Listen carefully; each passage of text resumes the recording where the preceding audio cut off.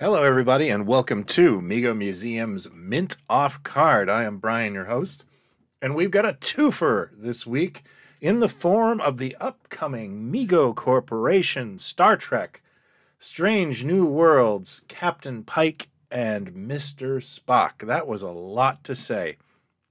Thanks to the generosity of the folks at Mego Corporation, I have an early look at what should be arriving in the next 60 days in North America and Canada. And these are highly anticipated. And I'm going to confide that Strange New Worlds is actually a Star Trek show that works for me. I have not seen a Star Trek show that has made me a fan in a very, very long time. However, this one just works for me. And I watched the entire first season, which is something I really can't say for any show with the Star Trek name on it in the last 30 years. I just have never been on board Teehee. So this is going to be a lot of fun for me. And also, at the end of the show, I'm going to do a contest and give these two figures away and some other merch. So please stay tuned to that. Now, Mego has done a Christopher Pike before. Uh, they did it for the Star Trek Discovery line. Uh, I didn't pick that one up because I really hadn't watched any Discovery with Pike in it. But now I'm a a fan of the character, and I loved this new take on him using his green relax shirt, which he did use in the series. And I also appreciate the updated uh, salt and pepper hair. As, as, there's a lot of memes about Anson Mount's hair. Uh, the other character, of course, is Mr. Spock. Uh, we are no strangers to Mr. Spock on the channel. However, this is the first action figure of Ethan Peck as Mr. Spock. The guy had some pretty big shoes to fill, and I think he's done a great job. I really enjoy his interpretation of Spock. It doesn't bother me. I just accept it for what it is, and uh, it, and it really works. The first thing you might notice about the card art is it's new, and what a welcome change. I've not been fond of Paramount's style guide of the last couple of years. It was just kind of needed color and a little bit of style and while this is a vast improvement, I, I still think they could push a little further. But it does inject some much needed color into these cards. I love that new Star Trek Universe uh, logo that kind of harkens back a little bit to the motion picture poster.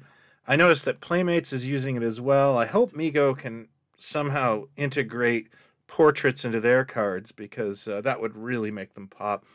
Uh, otherwise, though, I, I have to say it's a vast improvement over what we've had. Looking on the back, there's been a redesign. And again, nice. Uh, really, really nice. Uh, you know, centered images of the characters and a real line look. And that that looks swell to me. Um, there's been a revised uh, Marty Abrams bio on the back that uh, looks all futuristic. And we still have credits. And I'm just going to read off the credits for Pike. The paintmaster was Gary Cornelia. The sculptor was Tyler Ham, someone I know well. And the seamstress was Rachel Baker. On Spock, the paintmaster was my friend Tom King, who does great work. The sculptor was Igor Poruk. I hope I said that right, Igor. And the seamstress again is Rachel Baker, who really does her trek well. My overall assessment of these card backs is they are vast improvement. They pop. I welcome them with open arms. And, you know, while I think that I still would like to see Mego lean towards more of a portrait card, I think a lot of us like that sort of thing. Uh, you can let me know in the comments if you don't. This is so much better that I'll take it. It just looks great.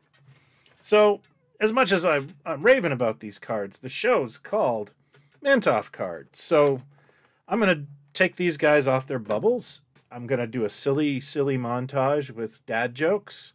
And then I'll tell you what I think of the figures and talk about the contest. Hang tight.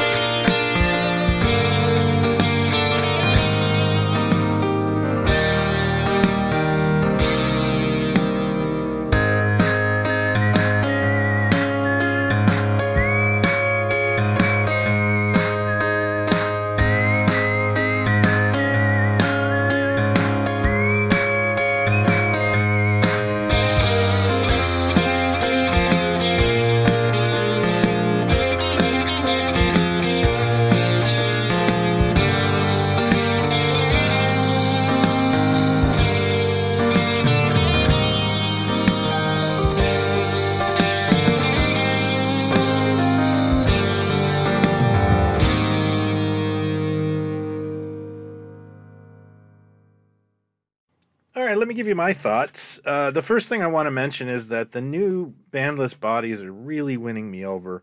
They have a really nice energy to them. They're still a little stiff when you first get them, so just be really gentle with them. Uh, but otherwise, I have no issue with them, and they they kind of remind me of Hyper Heroes from Medicom, which I was a really big fan of back in the '90s. But you know, uh, Hyper Heroes didn't cost twenty dollars, and Megos do, so that's great. Um, having a little bit of trouble with Pike's knees, but they're not broken. I think they're just a little stiff. Now, I don't have an original Strange New Worlds Pike uh, to compare this to, but I remember that Pike had a little bit of a large head. Uh, this one seems like it's slightly smaller, like it's been done via a new process. It's not squishy, and I, I feel like they reduced it a bit it's a terrific likeness and one thing i really do like about this kind of like new process they're doing for the heads is it seems to retain a lot more detail. Like i find this guy particularly striking. He would make a really cool uh, custom mr fantastic. You'd have to paint the hair but a ditto on the spock likeness. I mean you know this isn't supposed to be nimoy but it's not supposed to and it does resemble ethan peck quite well and i really like the profile on it tailoring on the outfits is really nice. I like the fabric they're using. It's quite thin, which allows for more of an illusion of real garments. The uh, insignias are actually hard plastic, which gives it a really nice feel. And I noticed that they've gone away from the stickers for the bands and they've done kind of like a, a silk screen, I guess. And that looks really interesting. I, I kind of like that because it's more realistic for the scale. Um, Mego has recycled the trusty blue phaser and communicator we all know as kids. Uh, they rock in this gray though, and you know I honestly can't remember what the designs for the phaser and the communicator look on this series. There's nothing more iconic than the original '60s, and that just kind of that's like a typical Mego thing to do, and those are the kind of things I like. As I've mentioned before, I like a little clunk in my toys, and these are really nice replicas of the characters, but adding that little you know, foot in the past is is welcome for me. Uh, overall, I, I really think these are a step in the right direction. And if this is the future of how Mego is going to tackle, you know, not only Star Trek but other properties, well, I welcome it. I really like the little touches. Gives it a nice little detail. Feels higher price than it is. Yeah, I, I think this is a real win-win. Uh, I, you know, I like I said, I'm not a hyper realism guy in toys, but this is a nice balance where it looks like a Mego, but a really nice Mego. That's why I kind of likened it to the Hyper Heroes. All right, let's get down to the contest. I'm going to give these two figures away to the person I pick who both likes this video and comments. And you can just basically tell me your favorite Star Trek episode. I mean, it doesn't matter what series, it doesn't matter what era. Uh, just tell me your favorite Star Trek episode in the comments. I will randomly select a winner for this lot next Friday on uh, St. Patrick's Day. And I will also select a runner up and a third prize who will each receive uh, their choice of collectible pin from the Plaid Stallion store. We have about 20 designs there right now, and one could be yours free.